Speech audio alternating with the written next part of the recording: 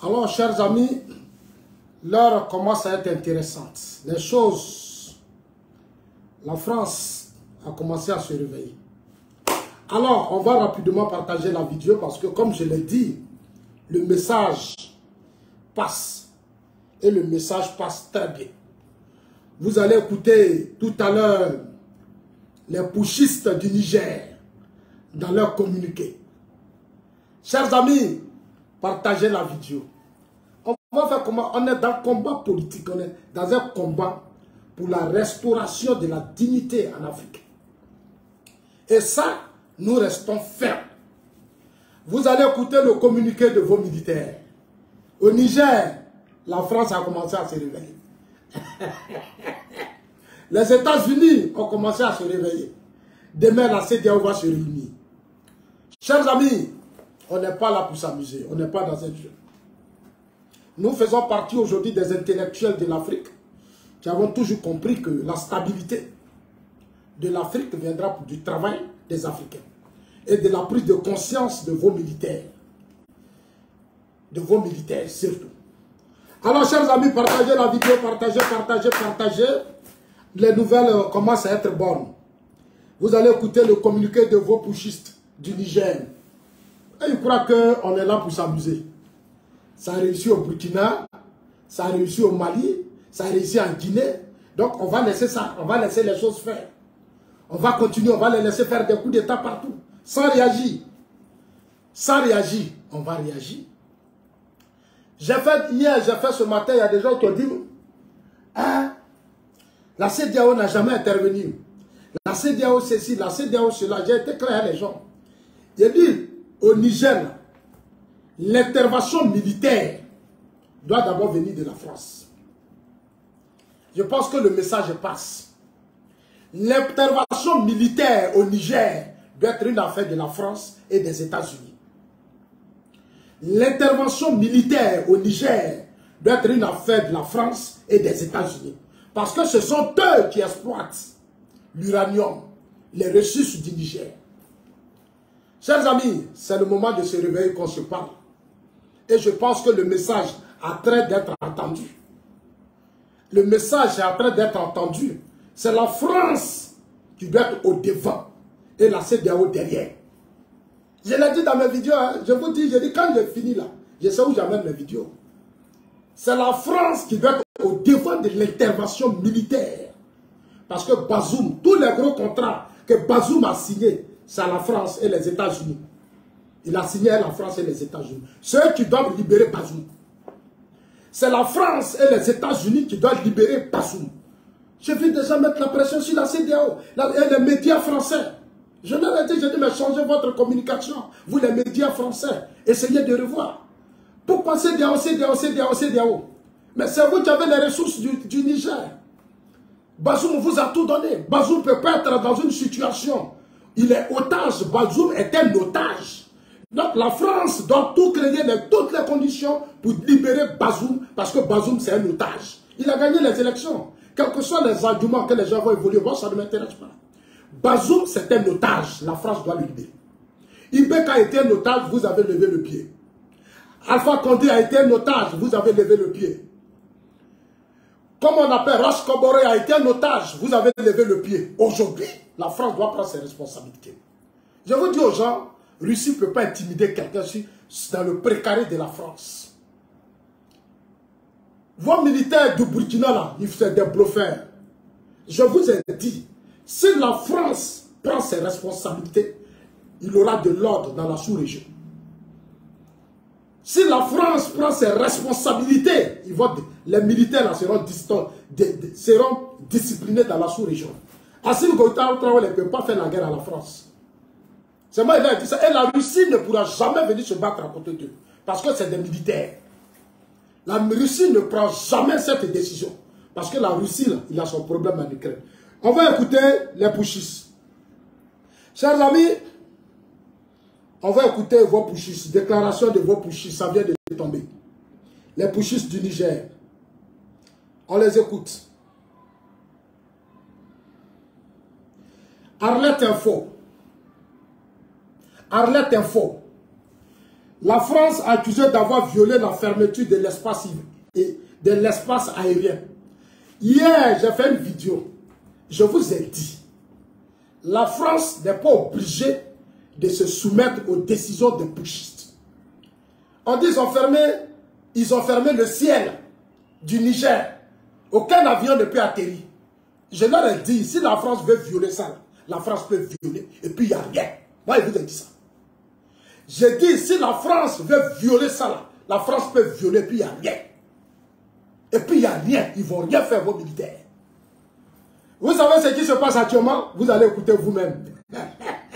vous savez ce qui se passe actuellement Vous allez écouter vous-même. Mais on va aller au bout. On va aller au bout et puis on va voir Simi et puis Traoré, ils vont rentrer dans la guerre. Mais je vous le jure, s'ils se trompent, s'ils se trompent, ils ne vont pas s'en sortir. On va les arrêter. C'est moi qui vous dis ça. C'est du bluff tout ce qu'ils font. Ils n'ont pas d'armement. C'est bruit. On regarde.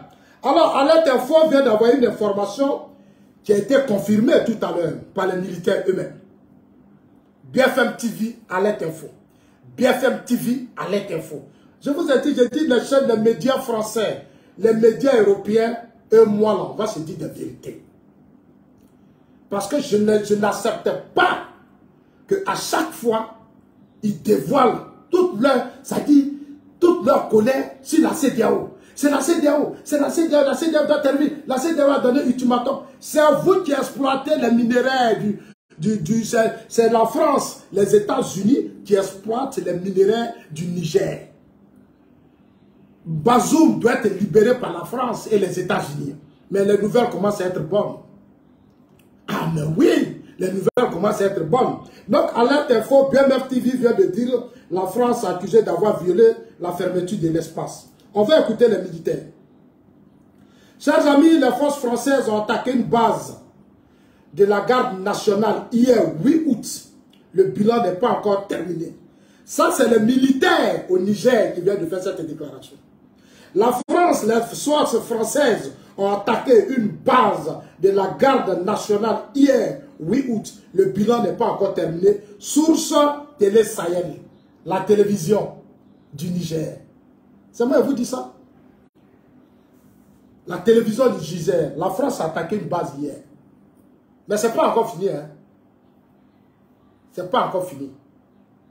On va voir ce que Absinu Goïté Traoré vont faire. Vous n'avez encore rien vu.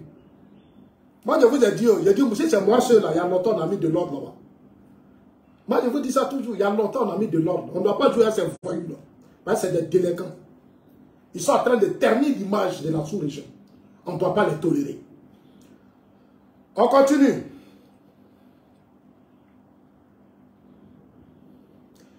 L'avertissement des États-Unis. les États-Unis envoyé leurs représentantes Hier, la CDAO donne son ultimatum. Et vous, les pushistes, pour narguer comme d'habitude, la CDAO, la communauté internationale et leurs partisans, ils disent qu'ils veulent négocier. Parce qu'il y a des gens qui disent, ah, la CDAO a donné ultimatum, la CDAO n'a pas intervenu. Ils ont dit qu'ils veulent, ils veulent discuter. Ceux-mêmes qui ont dit qu'ils veulent discuter. Ils veulent une délégation de la CDAO et ils veulent une délégation américaine ils, ont, après, ils ont dit non à la délégation de la CDAO. Ils ont reçu la représentante des États-Unis. Elle a été claire. Elle dit, elle a parlé avec eux. Je dis aux gens, on ne peut pas discuter avec des bouchistes. Cela, c'est Traoré et Assimi Goïta qui les manipulent. Traoré et Assimi Goïta ont mis dans leur tête qu'eux, ils sont allés en Russie. La Russie leur a donné des armes. Ils ont le parrainage de la Russie. Donc, ils peuvent créer le désordre dans la sous-région. Ils peuvent les parrainer. C'est ce que Traoré et Assimi Goïta ont dit aux militaires au Niger. Je vous ai dit que derrière le coup du Niger se trouvent Traoré et Assimi Goïta. Voilà, c'est ce qu'on va faire maintenant. Où on va là? Où on va là, c'est pas de la musique. On y va. Les États-Unis viennent de dire que, on dit d'abord et puis vous allez écouter vos militaires. Nous pourrons être forcés d'intervenir nous pourrions être forcés d'envahir le Niger. Les États-Unis, hein, les États-Unis viennent de réagir. Les Américains disent, parce qu'ils ont envoyé leurs représentants, vous vous foutez des gens. les militaires sont très impolis.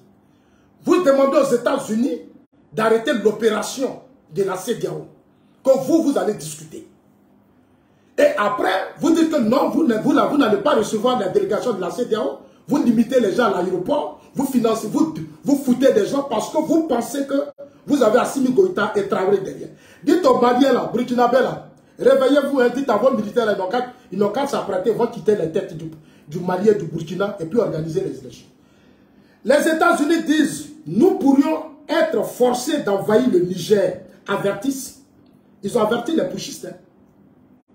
Les États-Unis affirment qu'ils pourraient être contraints d'envahir la République du Niger si le gouvernement militaire refuse de revenir à l'ordre constitutionnel. Partagez la vidéo, chers amis. On est dans un combat. Les États-Unis affirment qu'ils pourraient être contraints d'envahir la République du Niger si le gouvernement militaire refuse de revenir à l'ordre constitutionnel. La secrétaire adjointe par intérim des États-Unis, Victoria Noland, l'a relevé lors d'un briefing spécial ce mardi 8 août. Hier, vous voyez, chers amis, c'est ce que je vous dis. Je vous ai dit, si l'Amérique et la France veulent vraiment que Bazoum revienne, il suffit qu'ils prennent leurs responsabilités. Ça a déjà commencé. Et ce qui vient, les jours qui arrivent là, ça sera fait. Les jours qui arrivent là, les militaires là, actuellement ces Chouans, ils ont attaqué la base hier.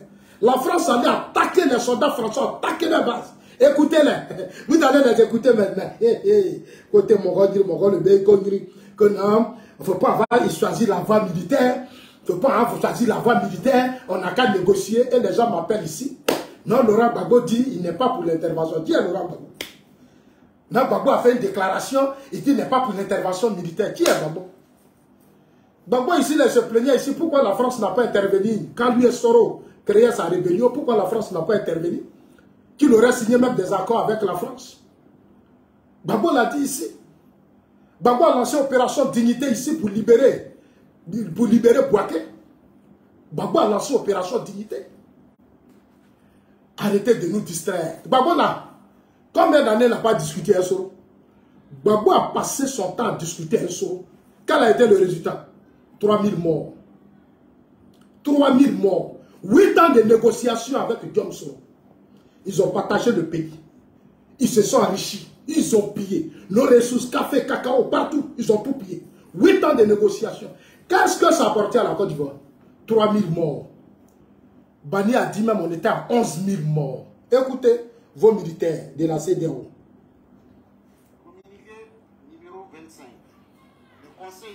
Attendez, attendez, vais mettre ça ici. Écoutez, mon Eh, la France.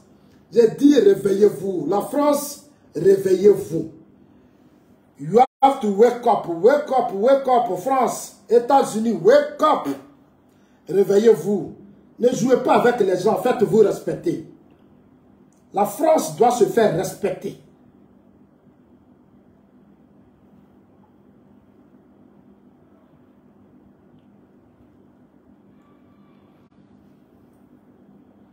Chers amis, partagez la vidéo, je lance rapidement.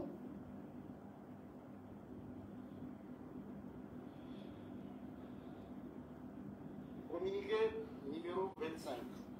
Le Conseil national pour la sauvegarde de la patrie tient à informer l'opinion nationale et internationale des événements d'une extrême gravité qui sont en cours au Niger, du fait du comportement des forces françaises sur notre territoire et de leurs complices. En effet, Écoutez bien, hein, chers amis, partagez la vidéo à tous vos amis. C'est le communiqué qui vient de tomber tout à l'heure de vos pushistes.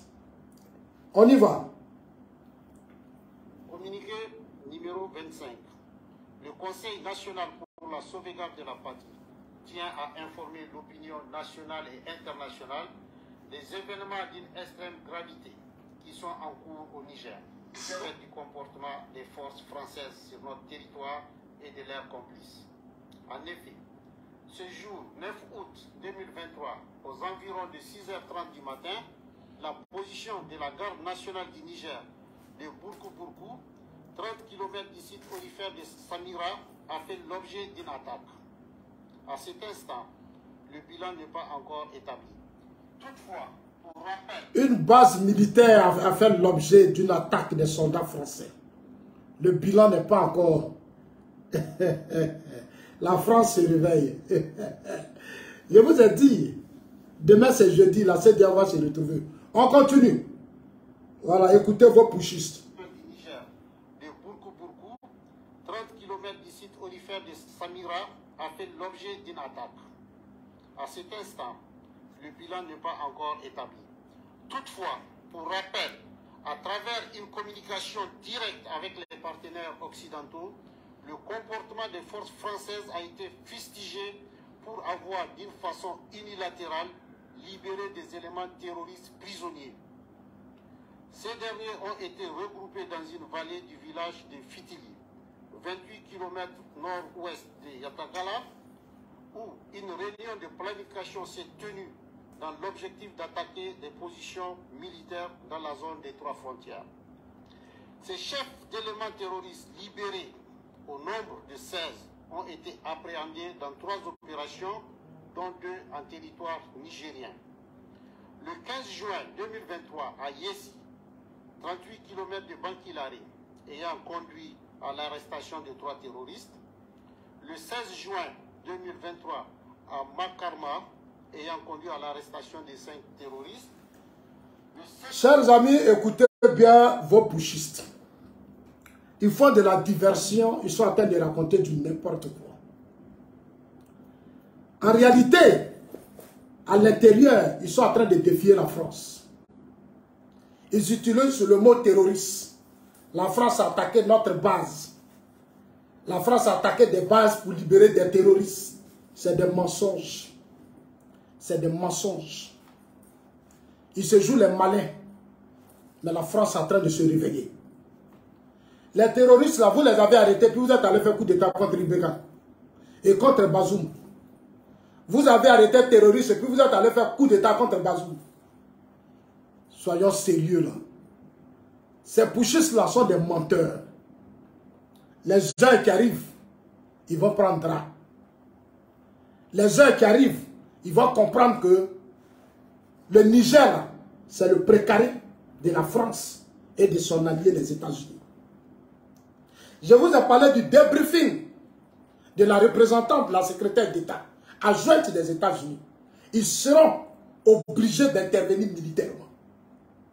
Si les pushistes ne se ressaisissent pas dans ces jours qui arrivent, ils vont intervenir militairement. C'est ce que je viens de vous dire. hein. Pour dire que où on allait là, on n'est pas là pour s'amuser. On vous a donné toute la latitude de négocier. Plus de combien de jours les gens sont en train de négocier avec vous? Plus de combien de jours les gens sont en train de négocier avec vous? Vous narguez les gens. Pendant que les gens veulent s'asseoir pour discuter avec vous, vous préférez aller discuter avec Assimi Goïta, vous préférez aller discuter avec Traoré. Parce qu'ils sont allés en Russie. Chers amis, les heures qui arrivent seront des heures chaudes. Les heures qui arrivent seront des heures chaudes. La France et les États-Unis ne vont pas se laisser faire. Ils ne vont pas se laisser distraire. On continue. Donc c'était l'information que je voulais vous donner. J'ai été clair dans mes vidéos. Je dis ce n'est pas à la Russie d'intervenir. Ce n'est pas à la CDAO d'être à la, à la tête de l'intervention militaire. Je vous ai dit ça ce matin, hier dans mes vidéos. Vous voyez ce président? Vous connaissez ce chef d'État? C'est un chef d'État. Lui là, c'est un président, il a été renversé par les militaires. C'est un chef d'État qui a été renversé par les militaires.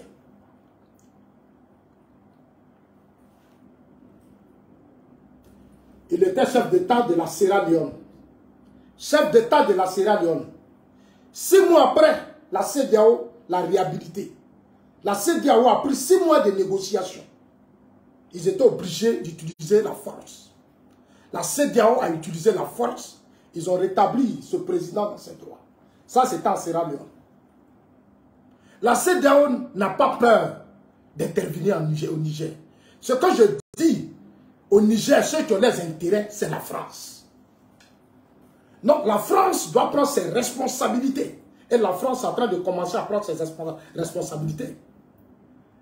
Il dit non, on appelé nos partenaires européens. Ils ont fustigé le comportement de la France. Vous avez quel partenaire européen? Vous avez quel partenaire européen? Ah donc vous comptez sur les partenaires. Mais si c'est sur Poutine, vous comptez là. Poutine peut rien faire. Lui-même là. Là-bas, on dit c'est de fait, ça va un mélange. Non, ils sont dans un jeu.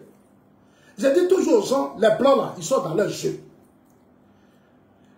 Ils sont dans leur jeu. La Russie n'a pas assez d'intérêt. La Russie qui est la Russie, la Russie est restée en Guinée pendant des années. La Russie est restée en Guinée pendant des années.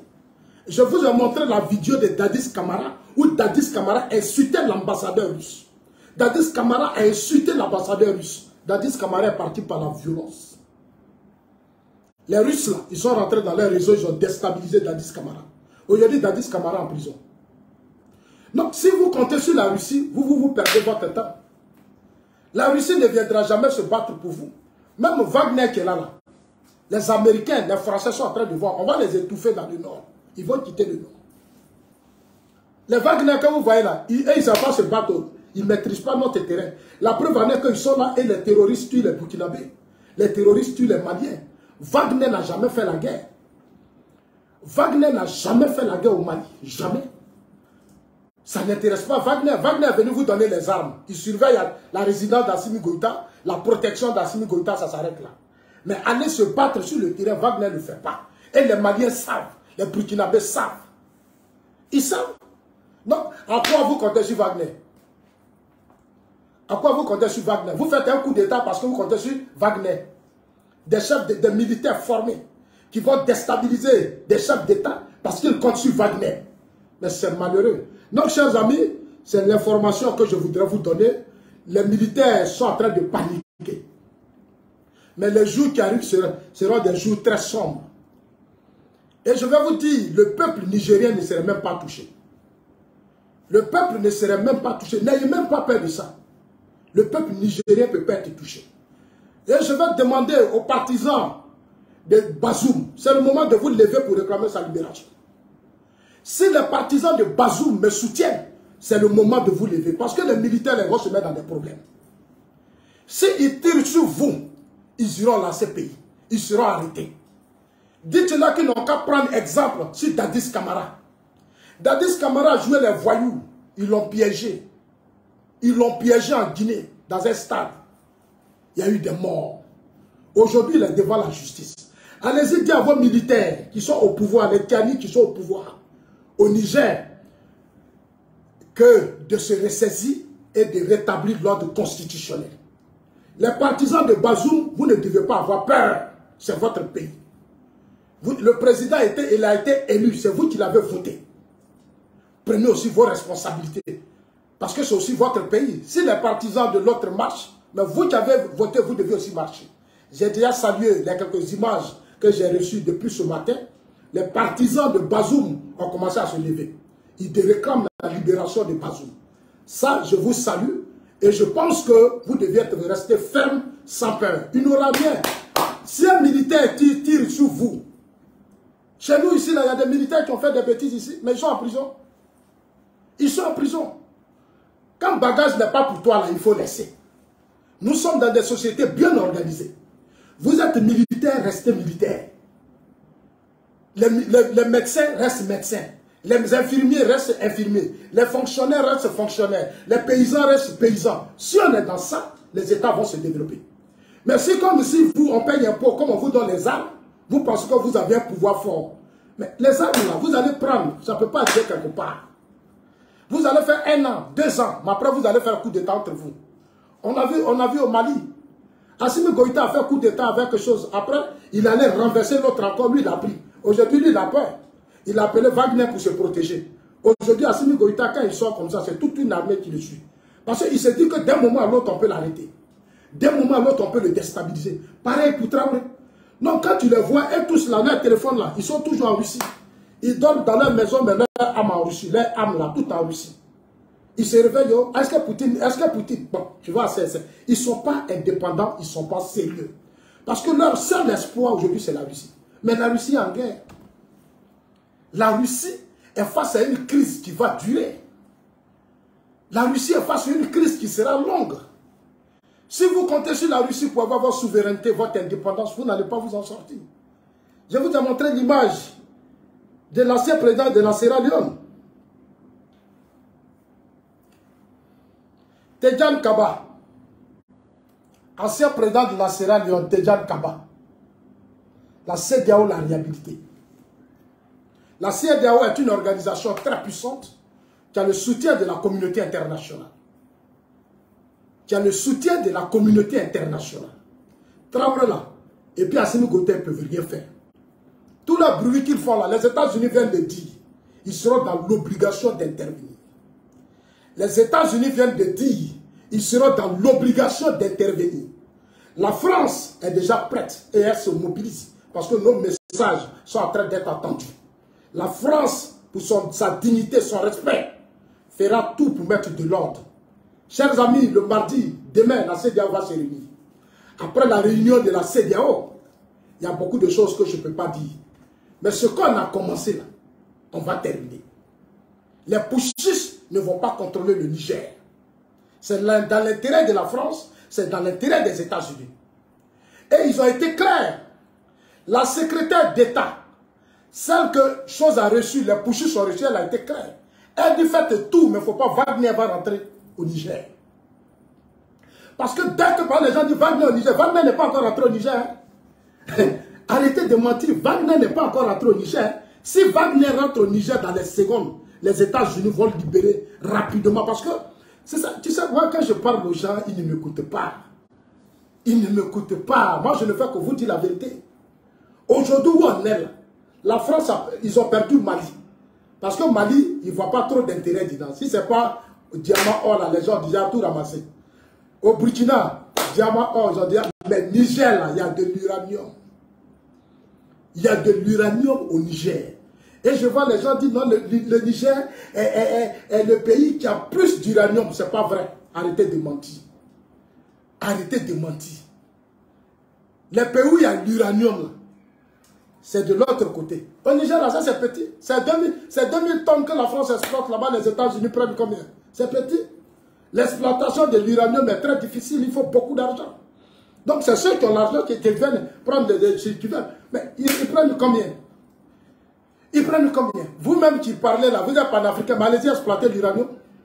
Allez-y exploiter. Allez-y exploiter l'uranium au lieu de rester sur les réseaux sociaux et parler. Allez-y. L'exploitation de l'uranium coûte cher. Le matériel qu'on prend la même là, c'est plus que vos budgets.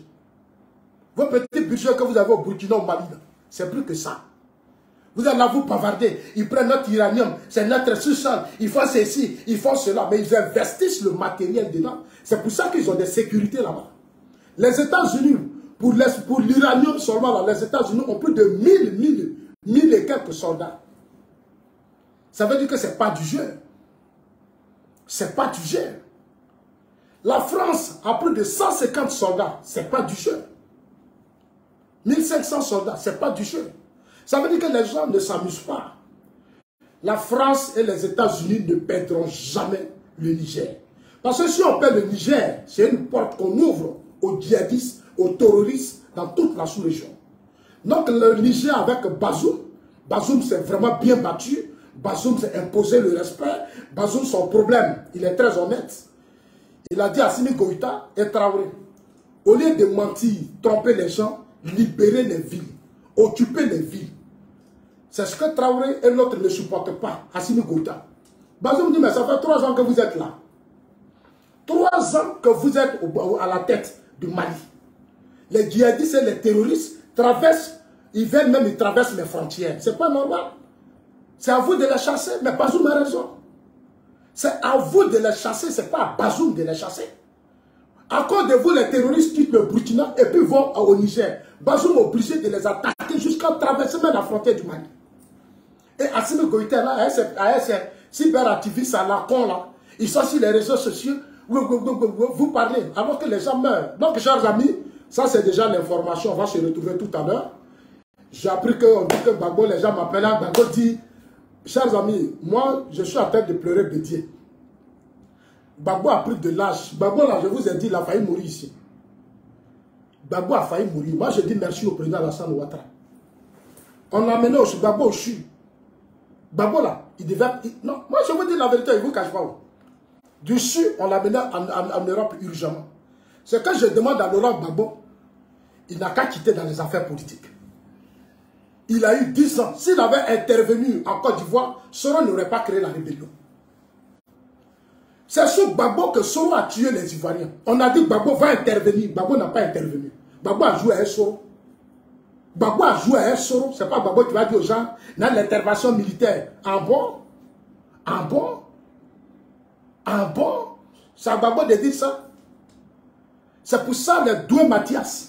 Quand il y a eu la rébellion de 2002, Doué Mathias voulait protéger l'Ouest. Il allait voir les gens du FPI. Les cadres, ceux qui avaient l'armée au pouvoir, lui-même il est militaire, il n'a pas d'armes. Doué Mathias dit, donnez-moi les armes. Je vais aller protéger mon pays, ma région. Ils n'ont pas donné l'arme à Doué Mathias. Doué Mathias pleurait. Ils ont pris toute sa région. Quand ils sont allés attaquer Café Cacao de Gagnois et Dalois, quand les rebelles sont arrivés à Dalois, Laurent Gbagbo allait négocier avec Soro Diom. Ils ont signé un pacte pour que les rebelles quittent la ville de Dalois. Moi, je suis bêté, mais j'ai dit ça, c'est pas normal. Parce qu'à Dalois, il y a Café Cacao. À cause de Café Cacao, Gbagbo et son régime ont discuté avec Soro. Mais à l'ouest, Doué Mathias a réclamé des armes pour libérer. Doué Mathias était ministre d'Espoir, il était chef d'état-major. Ils n'ont pas donné les armes à Doué Mathias. C'est pareil pour l'autre, comment on appelle ça, Philippe Mangou. Pareil pour Philippe Mangou. Aujourd'hui, les gens attaquent Philippe Mangou. Mais Philippe Mangou n'avait pas d'armes pour se battre. Gbagbo a donné l'armée de Côte d'Ivoire à Soro Le patron de Philippe Mangou, c'était Soro Un chef pouchiste qui devient ministre de la Défense. Et je vois les pro-Gbagbo, les pro-Soro qui ont la gueule. Un chef pouchiste qui devient ministre de la Défense. Et Mangou bien devient petit. Mangou qui a affronté Soro sur les fronts militaires. Babo se lève, il s'en fait Soro, premier ministre, ministre de la Défense, et lui confie l'organisation des élections. Dites à Babo qu'il a échoué. Je pense que Bedi est parti, Bedi a pris trop de stress. Je demande à Babo n'a qu'à laisser les affaires politiques. Allez-y au coup à Justin et autres que ça soit dit. Il vous demande pardon. Babo est fatigué. Babo est fatigué. Babo a failli partir ici, sous nos yeux. Il a failli la vigilance du gouvernement ivoirien. C'est pour ça que je dis merci au président Alassane Ouattara. Il l'a mené ici, à, à. À Trashville, Babou a failli mourir. Babou a failli mourir, c'est moi, Zasso, il vous dit ça aujourd'hui. Demandez au gouvernement, il va vous dire. Ils l'ont pris jamais, ils ont emmené Babou à Trashville. De là, on a mis Babou à Paris. Un vol spécial. Babou a failli mourir. Il faut qu'on se dise la vérité. C'est Bédier qui est tombé. Regardez les aînés. À cause de la politique, ils sont en train de stresser. Se stresser. Ils ne veulent, pas, se libérer.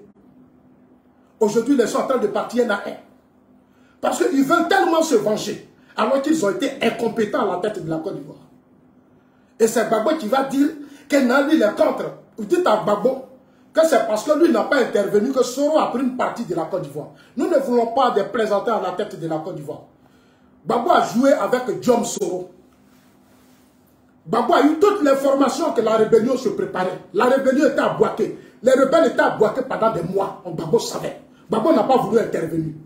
Babo a passé tout son temps à se promener à Soro John dans la sous-région. Il a passé tout son temps à se promener à Soro partout. Résultat, combien de morts?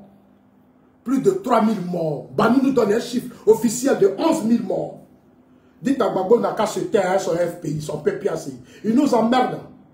Il nous emmerde. Aujourd'hui, depuis que votre pouvoir, est-ce que vous voyez des gens, plus de plusieurs tentatives de coups d'État ont été déjouées? Il y a eu des gens, des djihadistes terroristes qui ont voulu rentrer sur le territoire ivoirien. Il a mis les moyens. Tous ces armes, il a payé de façon légale. le président Ouattara ne paye pas les armes dans les trucs, non. Il a payé en Russie, il a payé en Chine, en Israël, en France, en Angleterre, en Allemagne. C'est légal. Donc, Ouattara qui est là, là tu ne peux pas l'attaquer. Ça, moi, je vous dis la vérité. Hein. En 2020, quand les gens ont lancé leur insurrection, il a dit à Macron, comme ils sont déterminés et ils pensent qu'ils peuvent me renverser, ils avaient préparé leur plan. Même des militaires de notre armée étaient dans le coup. L'opposition était chargée de recruter des militaires, des officiers et autres dans notre armée pour attaquer le pouvoir du président Ouattara. Tout était planifié. J'ai dit chapeau à Alassane Ouattara. Chapeau à Alassane Ouattara. Il dit on va se battre. Vous m'avez vu sur les réseaux sociaux pendant des mois. On s'est battu. On s'est battu, on les a frappés. Et c'est la police seule. Hein. Police et puis gendarmerie, on n'a pas pris l'armée. On est resté sur les réseaux sociaux. On les a frappés. Soro Diom et ses voyous. C'est pour ça que Soro, j'attends Babo dire, il faut que, dites à Laurent Babo que se dit, tu nous emmerdes. Hein. On en est assez de, on en est assez de ta comédie. Tes histoires de défense de Soro là, tu, te fous des gens, Babo. Babo se fout des gens. Babo était militaire, il était président. Quand nos frères, quand nos frères ont été tués à Boaké, des gendarmes qu'on a mis dans des conteneurs, nous on avait nos parents dedans. Babo pouvait aller discuter avec Blaise Comparé. Babo était l'ami de Blaise Comparé dans l'opposition. Babo est resté au Bidjan ici, on a tué nos parents. C'est Babo qui a s'asseoir pour dire, est-ce que quelqu'un a mené Soro en exil? Le président Ouattara n'a jamais amené Soro en exil. Soro a voulu faire un coup d'État. Allez-y, dit ça à Babo. Quand Soro voulait renverser le président Ouattara, Soro allait au Burkina. Il voulait renverser le régime politique au Burkina. Allez-y, dit à Laurent Gbagbo que ça se dit. Quand tu étais à la CPI, là, Soro voulait renverser le régime au Burkina. Le régime burkinabé. Les audios de Soro existent. Soro dit qu'au palais présidentiel, il a ses hommes qui sont auprès de Ouattara, qui vont attraper Ouattara. Soro dit qu'il va faire asseoir Ouattara. Soro a dit ça. Quelqu'un fuit, il quitte le pays parce qu'il a voulu faire un coup d'État. Il se fait protéger par certains chefs d'État. Et toi, Babo, tu là, c'est ne doit pas être en exil. Qui l'a mené en exil? Mais si tu l'aimes, va le chercher. Si Babo aime Soro, il n'a qu'à aller chercher Soro. Je comprends pourquoi la rébellion a tué nos parents. Parce que Babo n'était pas sincère. Babo n'était pas sérieux. Moi, je dis aux gens, Soro, c'est le fils spirituel de Babo. La rébellion a existé parce que Soro et Babo étaient dans une complicité. J'assume ce que je dis. Babo et Soro étaient dans une complicité, c'est pour ça que la rébellion a fait 8 ans. J'ai vu ici combien de fois les désirés Tagour ont été humiliés. La Amani Guessa ont été humiliés à cause de Soro.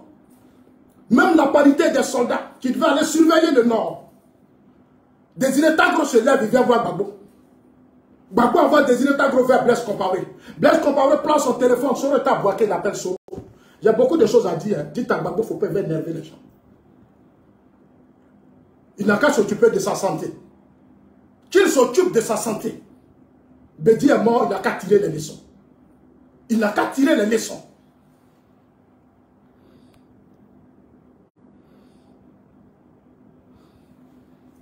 Bédi est mort, il n'a qu'à tirer les leçons. J'ai fait des vidéos ici pour interpeller Bédier. J'ai dit à Kona Bédier, Kona Bédier, il a, il a piqué des crises. À un certain moment donné, j'ai eu l'information. J'ai fait vidéo, j'ai dit, dites à Bédier de se reposer. Il n'a qu'à laisser politique. Bédier n'a pas écouté quelqu'un. Bédier n'a pas écouté quelqu'un.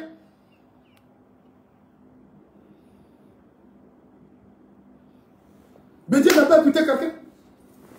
C'est pas Bédier qui est parti là. Il est parti. Depuis des années, il veut se venger. C'est Babo qui soutient. On arrête nos soldats. Babo est d'accord. On veut faire ça. Il a, il a ceci. Il aurait une intervention militaire. L'intervention militaire en Côte d'Ivoire dit à Babo que ça a apporté la paix. Allez-y dire à Laurent Babo, c'est vrai, ce que nous déplorons, ce sont nos morts, on a été réfugiés, on a tout perdu, on a perdu beaucoup de choses. Mais cette intervention militaire, si on n'avait pas arrêté Babo, la Côte d'Ivoire ne serait pas aujourd'hui développée. Allez-y dire ça à. Quand le pays est développé, parce que ça a arrêté aujourd'hui. Non, l'intervention militaire aussi, quelque part, c'est bon. Quand tu es revenu, tu as vu le pays est développé. Le pays s'est développé.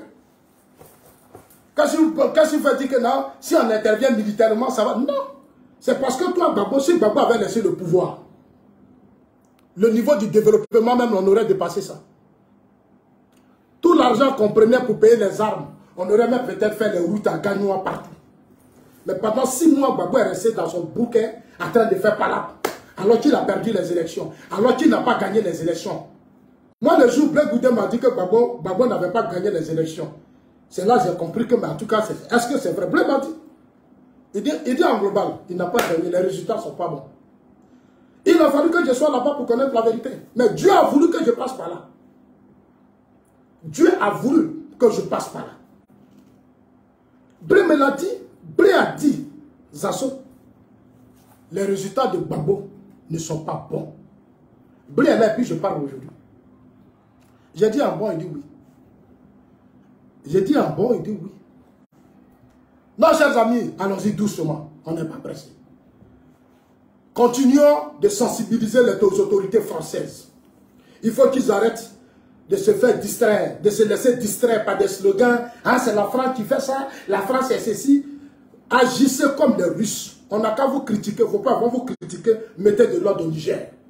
J'invite Macron, j'invite Macron, après la réunion de la CDAO, j'attends beaucoup de Macron. vous avez des soldats, vous et les Américains, vous avez des soldats, imposez votre, votre respect. Poutine le fait en Ukraine, vous devez le faire. Bazoum vous doit beaucoup de respect. Bazoum ne mérite pas ça. Bazoum a signé de gros contrats. Bazoum a fait beaucoup avec vous. Encore de vous, Bazoum a attaqué les pouchistes fatigués. Bazoum menaçait les pouchistes. Bazoum était dur avec les pouchistes. Ce n'est pas vous, la France, d'abandonner Bazoum. Vous avez les moyens militaires. La CDAO a les moyens militaires. Il y a des heures, pendant que le peuple dort, on peut régler ses problèmes. On l'a fait, il y a eu beaucoup d'expériences dans le pays. Pendant que les, les, partisans de Bazoum sont en train de ronfler, et les partisans des pouchistes là sont en train de ronfler, on peut venir les prendre maintenant, les enlève, on prend Bazoum, on le met au pouvoir, c'est facile. On peut le faire. Pourquoi c'est facile? Parce que vous êtes déjà là-bas. Vous avez une armée, l'armée française est tellement équipée que l'armée des choses. L'armée américaine est équipée. L'Allemagne vient de se mettre dedans. L'Allemagne dit, ils seront obligés aussi d'intervenir. Donc la pression est en train de monter. Donc chers amis, portez-vous bien. Bonne soirée et puis Dieu vous bénisse. On ensemble, moi c'est Zasso global. Je voudrais dire à tous ceux qui soutiennent Bazoum, vous avez mon WhatsApp, il faut qu'on se mobilise, il faut qu'on forme un front, il faut que nous luttons, nous allons créer des mouvements politiques. Moi je suis prêt, il faut qu'on aide Bazoum. On a échoué au Burkina, on a échoué en Guinée, on a échoué au Mali. On doit restaurer la dignité de nos chefs d'État. Ce sont des Africains, ce sont des fils de l'Afrique. Nous ne pouvons pas accepter, nous ne sommes plus au temps de l'esclavage. Nous ne sommes plus au temps de la colonisation, au temps de la traite négrière, où des individus, des délinquants, des voyous vont prendre nos chefs d'État. C'est comme si on pouvait prendre ta mère en otage, comme si on pouvait prendre ton père en otage. C'est comme ça que Bazoum est otage aujourd'hui de ces voyous qui n'arrivent pas à combattre les terroristes, qui n'arrivent pas à combattre les djihadistes, qui fuient les fronts militaires et qui passent tout leur temps à créer du désordre dans la sous-région. Coup d'État, coup d'État, coup d'État, coup d'État, et vous n'avez même pas honte. Que Dieu vous bénisse.